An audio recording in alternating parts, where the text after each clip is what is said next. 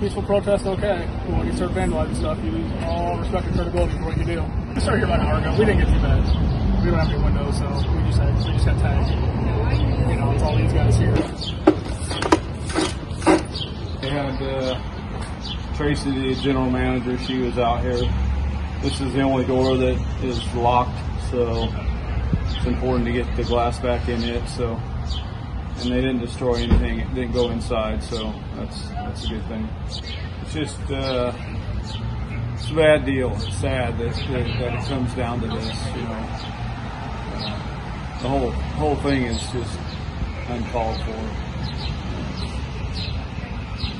that people have to resort to this to, to be heard.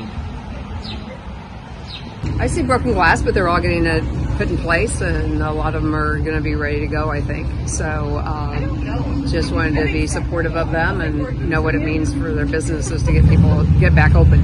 It's too bad because they're hurting the people that probably support most of the issues that they're talking about, and I think people need to stop the violence and let's uh, sit down and talk about what we can do to improve things.